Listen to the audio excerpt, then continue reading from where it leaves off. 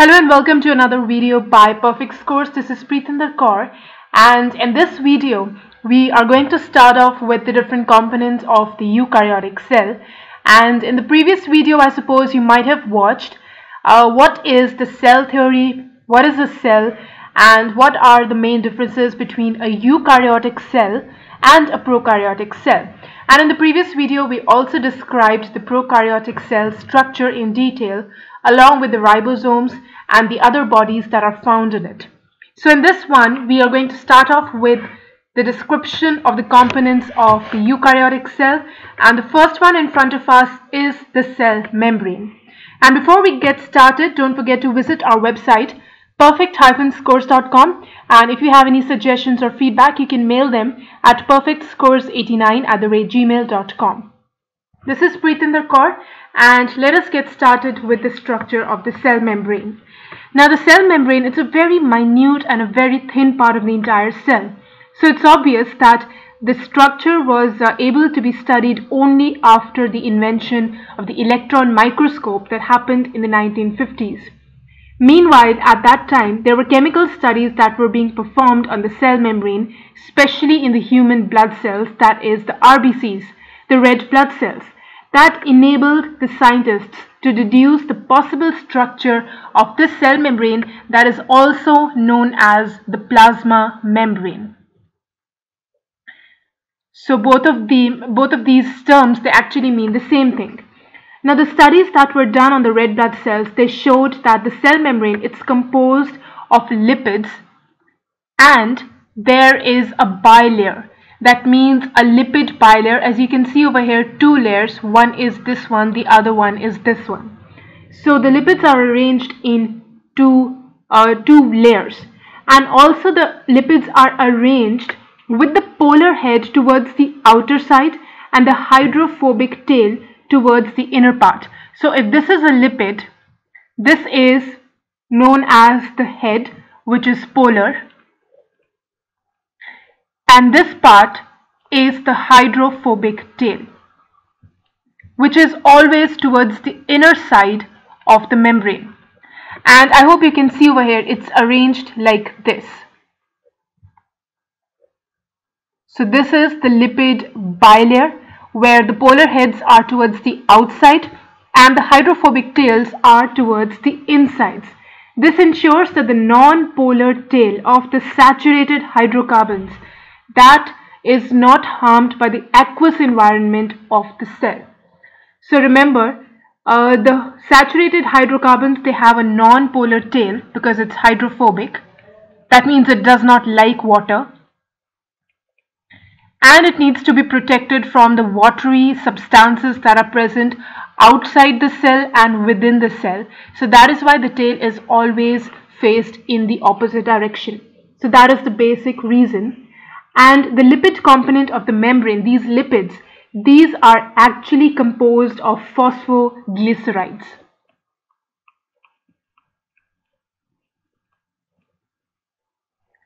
So that is the main component of these lipids. And later lots of investigations were carried out and it was found that the cell membranes, they not only contain these phosphoglycerides, they also contain proteins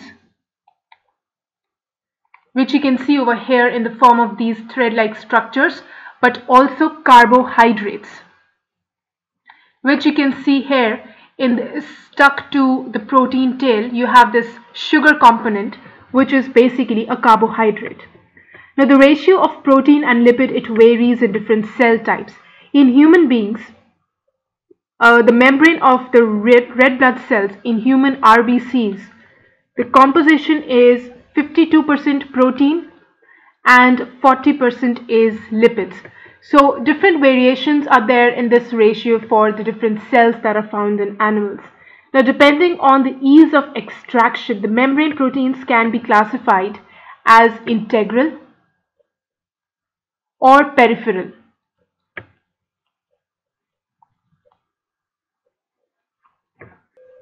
Now the peripheral proteins, as the name suggests, they lie on the surface of the membrane. And the integral ones, they're either partially or totally buried in the membrane. And let's go through the diagram now. So here you can see this is an integral protein that is buried partially. And then this is a protein that is the peripheral one which is there only on the surface. And then there is the carbohydrate that is the sugar that is attached to the protein. And all these you can see these shapes here which is again partially buried. That is also an integral protein. And then you have certain molecules of cholesterol here here here. You can see these white colored substances. This is all cholesterol. And this layer that is formed this layer over here this is the lipid bilayer like this so I hope it's all clear how the diagram is supposed to be understood the lipid bilayer the peripheral and the integral proteins, the cholesterol molecules within the lipids and the sugar as well. Now this uh, model that you can see in this figure, this is known as the fluid mosaic model. So that needs to be mentioned here. Fluid mosaic model. And this was given by Singer and Nicolson.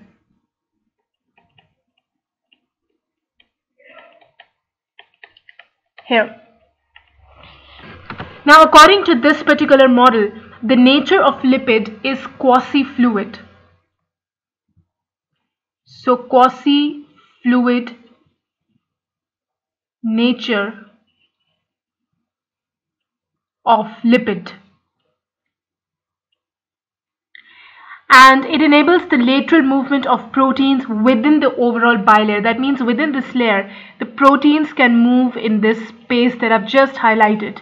This movement, this ability to move, that is known as the fluidity. Now the fluid nature is also important because lots of other functions have to be performed like cell growth, formation of intercellular junctions, secretion of substances, endocytosis, cell division in all these factors. So the cell membrane is actually very, very important. And one of the most important functions is transport of molecules across the cell membrane or the plasma membrane. That is one very important function that it has to perform. The membrane is selectively permeable to some molecules present on any one side of it. Now, many molecules can briefly pass through the membrane without any requirement of energy. That's called passive transport. That means no energy is needed for the transport of those molecules. And for example, neutral solutes.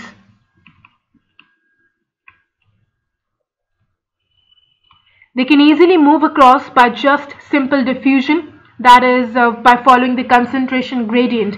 Where concentration is more it moves from that place to the place where the concentration is lower.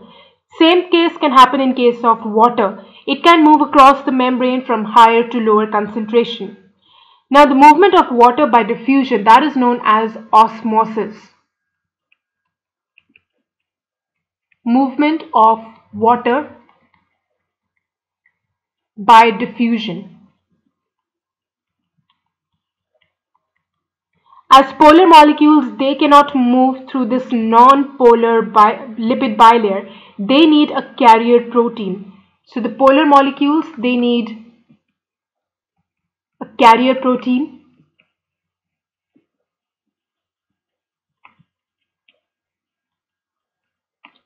And a few ions or molecules are actually transported across the membrane against concentration gradient.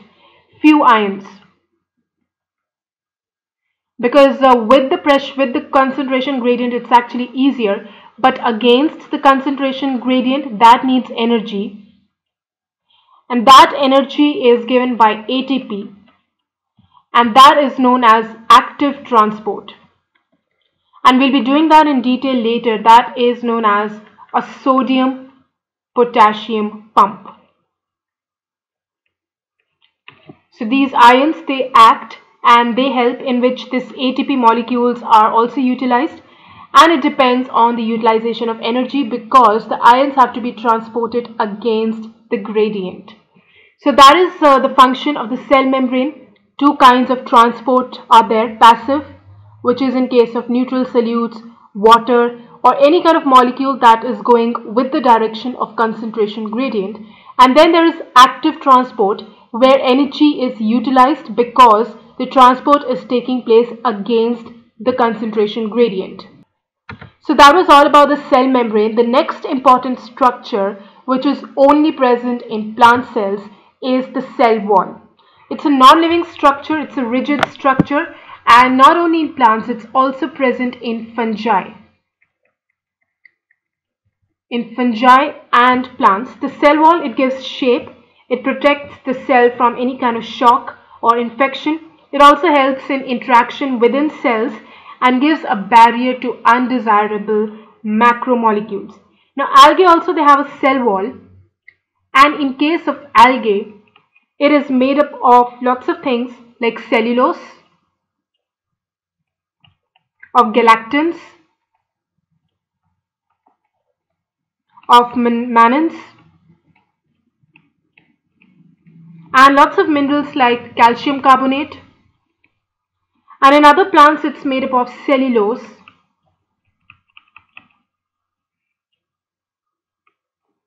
And it also has hemicellulose.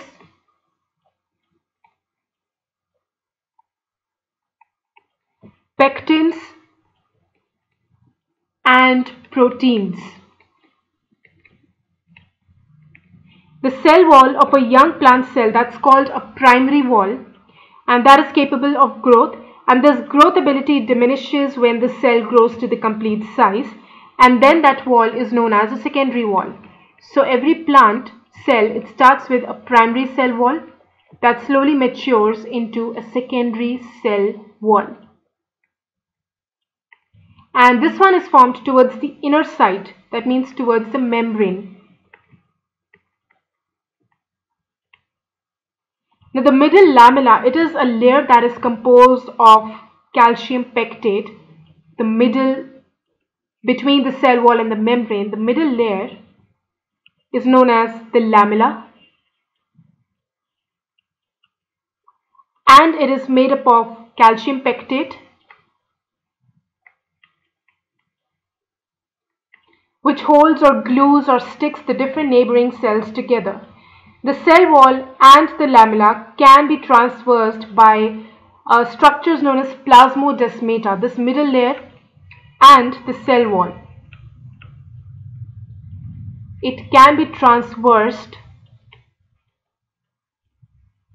by plasmodesmata.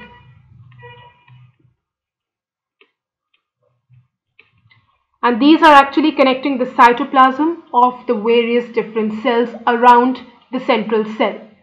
So that is all that you need to know about the cell wall and the next important thing that we need to do is the endomembrane system. And the endomembrane system is what is there inside the cell. Now the membranous organelles is different in terms of structure and function. Some of the organelles are part of the endomembrane system because of their coordinated functions.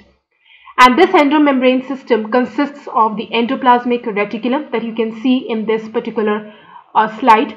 It has the Golgi apparatus.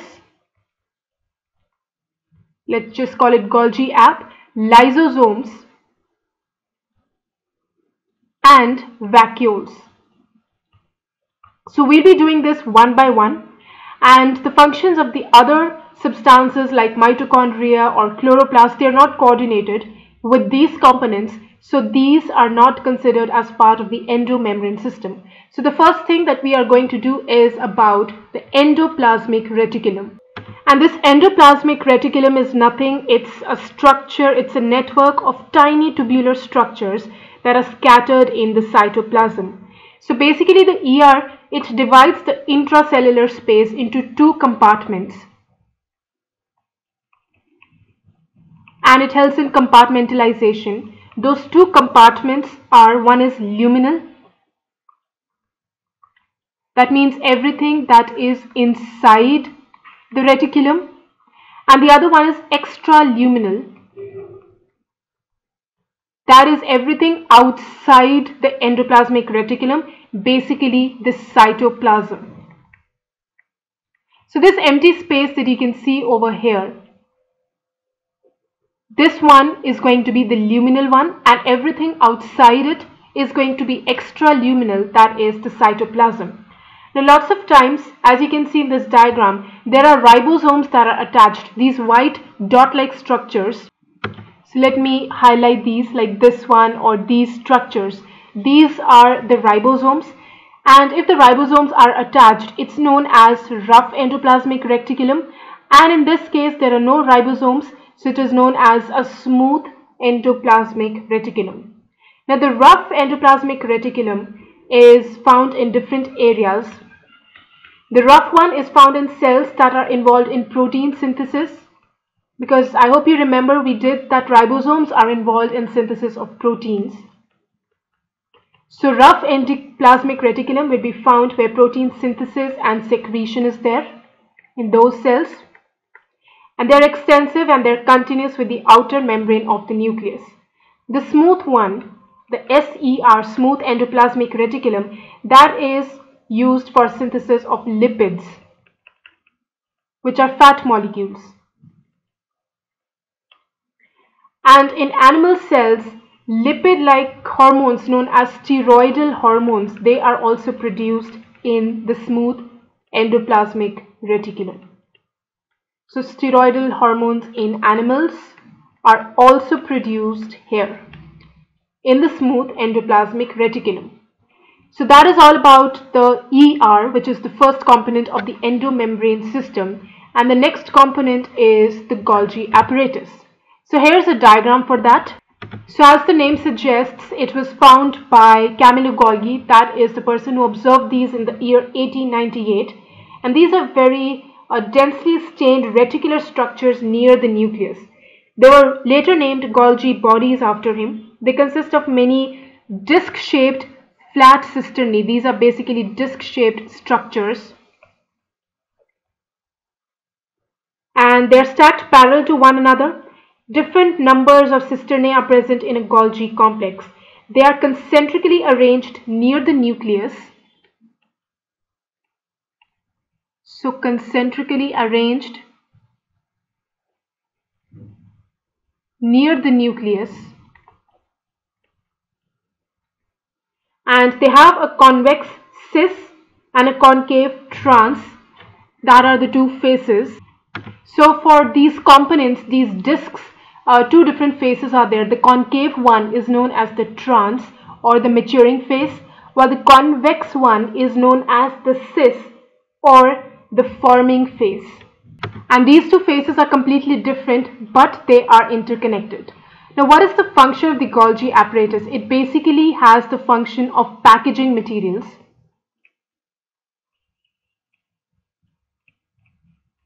So, packaging materials, that is one function. The materials that have to be delivered uh, outside the cell or within the cell. These materials have to be packaged in the form of vesicles so the process, uh, let me just highlight the process. So that is the first thing, the materials that have to be packaged have to be packaged in the form of vesicles. They fuse with the cis phase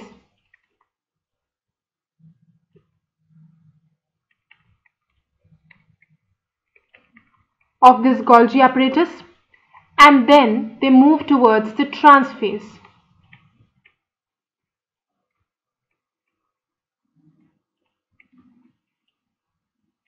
And this explains why the Golgi apparatus is very closely associated with the endoplasmic reticulum because materials, these, they are coming from the endoplasmic reticulums and they go to the cis phase and then they go to the trans phase and then wherever they have to go. Now lots of proteins that are synthesized by ribosomes on the rough ER, they are modified in the cisternae of the Golgi apparatus. So suppose it is coming from here, it has to reach here and at this place it gets modified. And additionally, the Golgi apparatus is also a very important site for the manufacture of glycoproteins and glycolipids.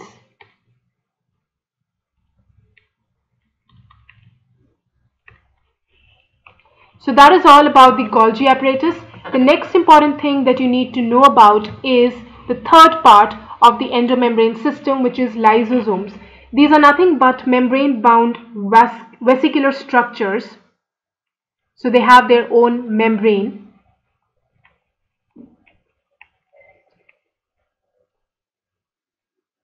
So membrane bound vesicular structures and they're found and packaged in the Golgi apparatus.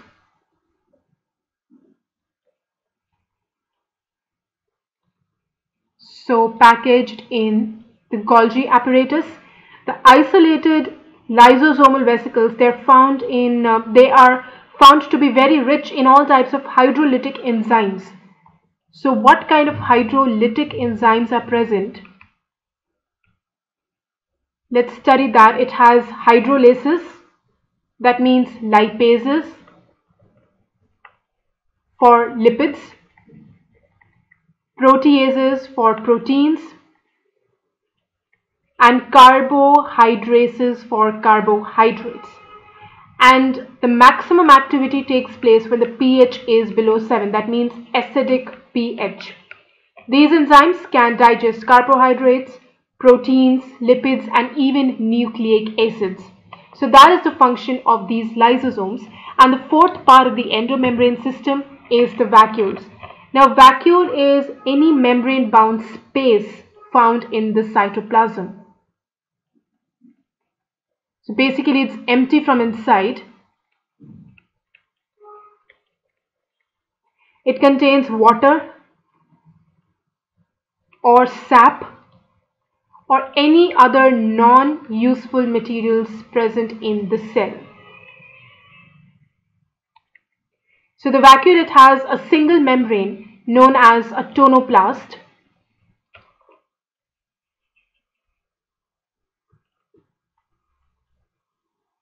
So that is the name of the membrane. And in plant cells, the vacuoles can have up to 90% of the cell volume, which we already saw in the previous video where we discussed the diagram of the plant cell, it has one big central vacuole. In plants, the tonoplast, it helps in transport of lots of things. So remember plants have one single big vacuole and the tonoplast helps in transport of number of things even against concentration of gradients, against the direction of the concentration gradients. Transport of lots of materials Hence, the concentration of those materials is higher in the vacuole than in the cytoplasm. In amoeba, that is a special case, there is a substance known as contractile vacuole. Now this contractile vacuole it is used for excretion in case of amoeba and in many cells especially the protists there are food vacuoles that are formed whenever food is engulfed from the surrounding environment. So that is all that you need to know about the vacuoles. And that is all that we'll be covering in this video because that's the first part of uh, the cell structure of eukaryotes. The remaining lots of other um, areas that is mitochondria or the nucleus or plastids we'll be covering in the next video. So thank you so much for watching this video and don't forget to visit this website for more videos and mail us any suggestions or feedback. So thank you so much for watching this video.